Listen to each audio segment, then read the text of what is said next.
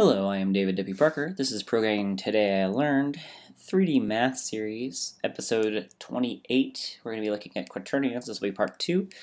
We'll have uh, be looking at identity quaternions, the magnitude of quaternion, as well as the conjugate and inverse of quaternion.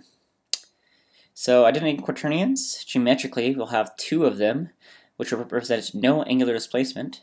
We'll have 1, 0, 0, 0, and negative 1, 0, 0, 0.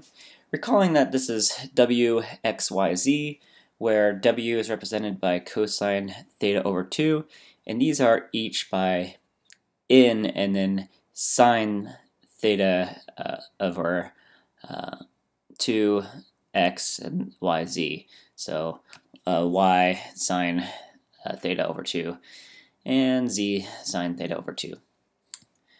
So when theta is an even multiple of 360, then cosine theta over 2 is equal to 1.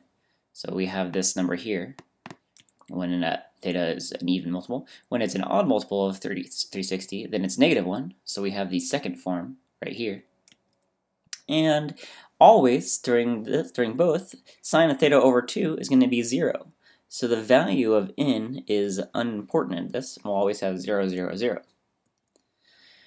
So Mathematically, we only have one identity quaternion, which is the positive version, because when we have a negative q after multiplying uh, by the negative 1, we don't have q is equal to negative q. These aren't equal mathematically. So in the math world, negative 1 uh, it does not count as an identity, but we'll be using it for our purposes. Uh, recall the formula for vector magnitudes. It's going to be the square root of the sum of the squares of all the uh, um, vectors within it. The formula is similar for quaternions. We'll say the magnitude of w, x, y, z is equal to the sum of its par uh, sum of the squares of its parts, square root of the sum of the square roots of its parts. And then same thing in the shorthand version, we'll have the square root of the w squared plus the magnitude of the vectors here. So that's the same thing as this up here. Uh, geometrically substitute uh, theta and n into this. Like again, we're going to have w is cosine over theta over 2, and uh, v is going to be the sine of theta over 2 times the magnitude of n. So we have this out here. Recalling that n is a unit length so of 1, so we can get rid of that. And we can use the trig identity of cosine squared x plus sine squared x is equal to 1. So the square root of 1 is obviously 1. So we'll be using unit quaternions for this. Uh, again, going on to conjugates, the notation is Q and then the little splat.